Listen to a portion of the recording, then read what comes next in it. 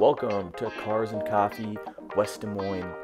This is the event that they threw in June, and it was a couple weeks ago. I'm just getting done editing, but we finally have the footage ready for you guys. I wanted to put this together because the event that they've been throwing is absolutely phenomenal.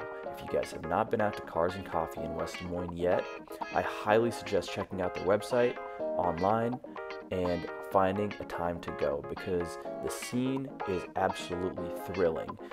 There's a bunch of great cars. You can bring your family, bring your significant other, and it's just a great place to network and find other car enthusiasts and people that are interested in cars and the scene that Des Moines, Iowa has to offer. Um, West Des Moines and REI do a great job helping us with the, spot, with the space, and we really enjoy being there. Um, there's some great cars that turned out for this event, and if there's any time that you guys want to stop by, make sure you do because it's always a great time.